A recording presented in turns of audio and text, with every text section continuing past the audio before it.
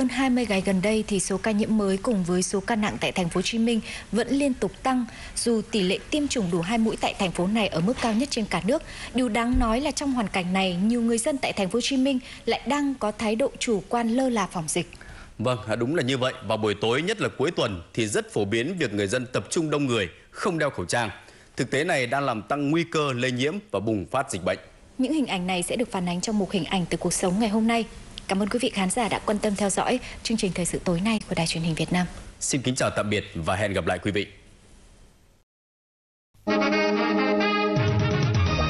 Trái đất đang xám dần do ô nhiễm, phải làm sao đây? Abot Grow Gold thêm 20% canxi cùng DHA giúp bé cao lớn và thông minh. Này có thêm rau nước tiện lợi. À, để hết ô nhiễm, cần trồng thật nhiều cây xanh.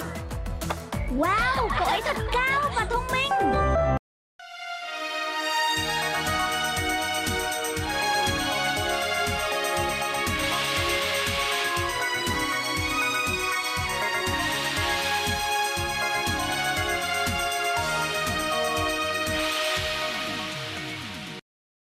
Kính chào quý vị và các bạn. Mời quý vị và các bạn theo dõi chương trình thời sự tối nay, thứ sáu, ngày 26 tháng 11 của Đài Phát thanh và Truyền hình Hải Phòng. Trong chương trình thời sự tối nay sẽ có những nội dung chính sau đây. Huyện ủy Cát Hải tập trung cao cho công tác xây dựng Đảng, xây dựng hệ thống chính trị và phát triển kinh tế.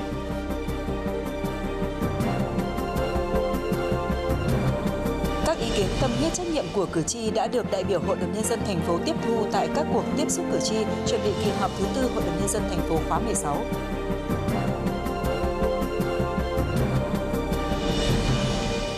Truy vết, xét nghiệm diện rộng, khuyến cáo người dân chấp hành 5K và khẩn trương tiêm vaccine cho học sinh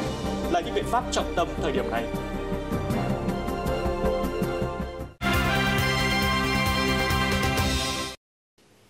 Thưa quý vị, tập trung cao cho công tác xây dựng Đảng, xây dựng hệ thống chính trị và phát triển kinh tế.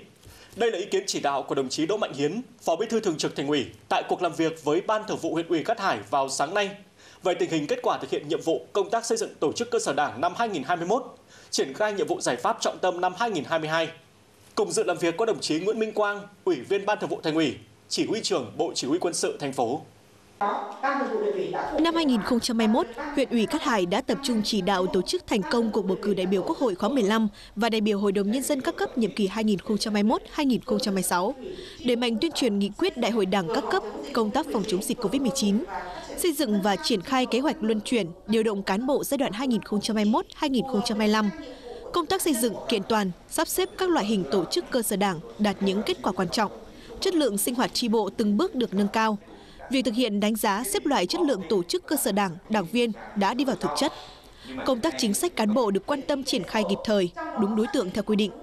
Năm 2022, huyện ủy Cát Hải tập trung công tác giáo dục chính trị, tư tưởng, đạo đức, lối sống cho đội ngũ cán bộ, đảng viên. Lãnh đạo thực hiện nghiêm túc, thực chất việc quy hoạch, nhận xét, đánh giá cán bộ. Chú trọng đổi mới nâng cao chất lượng sinh hoạt tri bộ, Kết luận cuộc làm việc, đồng chí Đỗ Mạnh Hiến, Phó Bí thư Thường trực Thành ủy ghi nhận, đánh giá cao tinh thần đoàn kết, nỗ lực của Ban chấp hành Đảng bộ huyện Cát Hải đã lãnh đạo thực hiện thành công toàn diện các mặt công tác, tiếp thu các đề xuất kiến nghị, đồng chí đề nghị Đảng bộ huyện ra soát bổ sung các quyết định, quy định, quy chế làm việc, tập trung chỉ đạo quyết liệt góp phần hoàn thành các chỉ tiêu năm nay. Trong đó quan tâm nâng cao kỹ năng nghiệp vụ trong kiểm tra, giám sát, tăng cường tuyên truyền các chỉ thị, nghị quyết của Đảng, quan tâm việc phát triển đảng viên cũng như phát huy vai trò trách nhiệm của người đứng đầu trong lãnh đạo, chỉ đạo thực hiện các nhiệm vụ chính trị. Chuẩn bị kỳ họp thứ tư Hội đồng Nhân dân thành phố khóa 16, tối qua tại trụ sở phường An Biên, quận Lê Trân, đồng chí Phạm Văn Lập, Ủy viên Ban Thường vụ Thành ủy, Chủ tịch Hội đồng Nhân dân thành phố, đồng chí Đào Khánh Hà, Ủy viên Ban Thường vụ trưởng Ban tuyên giáo Thành ủy, cùng đại biểu Hội đồng Nhân dân thành phố tiếp xúc cử tri nơi cư trú. Cử tri phường An Biên đánh giá cao những kết quả nổi bật của thành phố thời gian qua, có tính đột phá toàn diện trên mọi lĩnh vực, đưa Hải Phòng vào thời kỳ phát triển mới. Tình hình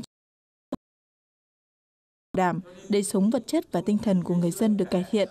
Người dân tin tưởng vào công tác lãnh đạo chỉ đạo của thành phố. Bên cạnh đó, cử tri có một số ý kiến đề xuất với thành phố như đề nghị thành phố quan tâm hơn nữa đến công tác quy hoạch quản lý chỉnh trang đô thị, hệ thống thoát nước ngầm viễn thông, điện cần có sự đồng bộ với việc cải tạo vỉa hè các tuyến đường trung tâm. Cần kiểm tra chặt chẽ về nội dung cũng như hình thức trước tình trạng treo biển quảng cáo trên đường phố, quan tâm nâng cấp khu vực Hồ Tam Bạc tạo mỹ quan cho thành phố, Cử tri cũng đề nghị thành phố tiếp tục đầu tư cho du lịch để xứng tầm với vị thế của thành phố hiện nay, đồng thời đẩy nhanh tiến độ tiêm vaccine cho đối tượng học sinh, sớm có giải pháp để xử lý tình trạng ách tắc giao thông vào những giờ cao điểm, bố trí đèn giao thông tại nút giao giữa đường Nguyễn Đức Cảnh và Cát Cụt, sớm có kế hoạch di chuyển đường sắt ra khỏi nội đô. Đồng chí Phạm Văn Lập, Chủ tịch Hội đồng Nhân dân thành phố trân trọng cảm ơn những ý kiến đóng góp tâm huyết, trách nhiệm cao của cử tri phường An Biên. Các ý kiến được Thường trực Hội đồng Nhân dân thành phố tiếp thu, bổ sung vào nội dung chương trình kỳ họp thứ tư Hội đồng Nhân dân thành phố sắp tới. Cũng trong tối qua, tại trụ sở Ủy ban nhân dân phường Nghĩa Xá, quận Lê Trân, đồng chí Nguyễn Đức Thọ, Phó Chủ tịch Ủy ban nhân dân thành phố cùng các đại biểu Hội đồng nhân dân thành phố tiếp xúc cử tri nơi cư trú. Tại cuộc tiếp xúc, cử tri đề nghị Ủy ban nhân dân thành phố quan tâm tới hệ thống thoát nước gần đây thường ngập lụt trên địa bàn quận, công tác quản lý đô thị, nhất là giao thông tại tuyến đường Hoàng Minh Thảo, cải tạo lại khu vực chợ đôn để không còn tình trạng bán hàng lấn chiếm các tuyến đường xung quanh.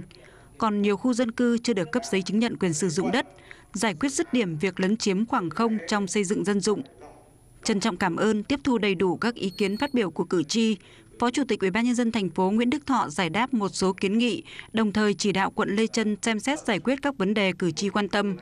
Trên cơ sở những ý kiến kiến nghị, lãnh đạo thành phố sẽ chỉ đạo các ngành địa phương kịp thời giải quyết, đồng thời bổ sung trình tại kỳ họp thứ tư Hội đồng nhân dân thành phố sắp tới. Chiều nay, Ban Đô thị Hội đồng Nhân dân thành phố tổ chức hội nghị thẩm tra hồ sơ dự thảo nghị quyết đề án xây dựng xã nông thôn mới kiểu mẫu trên địa bàn thành phố Hải Phòng giai đoạn 2021-2025, chuẩn bị trình kỳ họp Hội đồng Nhân dân thành phố sắp tới. Theo dự thảo nghị quyết, mục tiêu xây dựng nông thôn mới kiểu mẫu phải đảm bảo hoàn thành các tiêu chí xã nông thôn mới, nâng cao theo quy định của Trung ương, trên cơ sở phát huy tiềm năng, thế mạnh, phù hợp với thực tiễn mỗi địa phương.